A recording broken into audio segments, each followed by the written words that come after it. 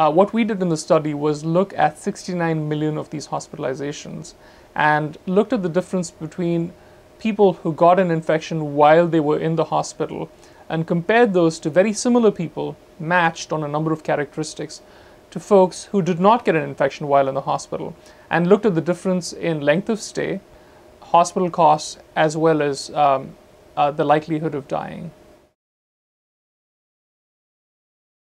There were 48,000 avoidable, potentially avoidable deaths associated with sepsis and pneumonia. Now, sepsis and pneumonia can be caused by a wide range of bacteria, including drug resistant bacteria.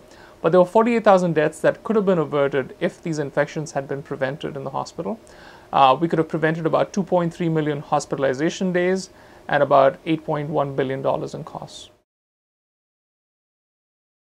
If a patient happened to get an infection while they were in the hospital for a reason other than for an infectious disease, uh, they had a hospital stay that was about 11 days longer than someone who did not have uh, the infection.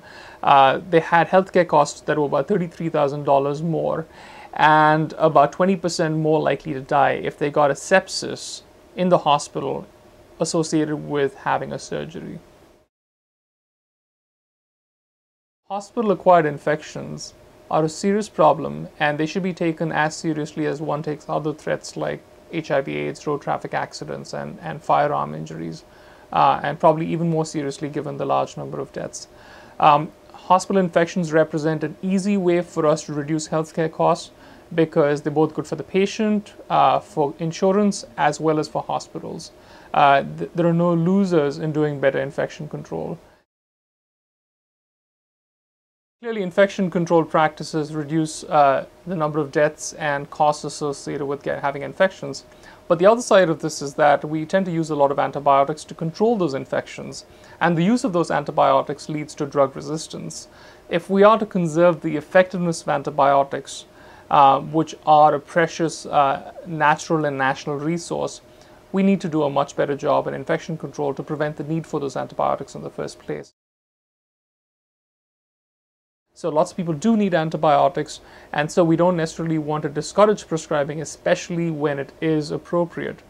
But there are many things that we can do to reduce the need for antibiotics. Uh, we can have better infection control in hospitals. Uh, we can have improved vaccination rates to reduce the need for antibiotics so people get less of influenza, for which a lot of people take antibiotics uh, we can figure out better strategies on how to use antibiotics, like in combinations or uh, multiple antibiotics, which are much less likely to lead to resistance. And we have to think creatively about incentives that different players in the health system have to use antibiotics. Right now, if I use antibiotics or if I demand antibiotics from my physician, neither my physician nor I bears the consequences of that use of antibiotics. That has to change.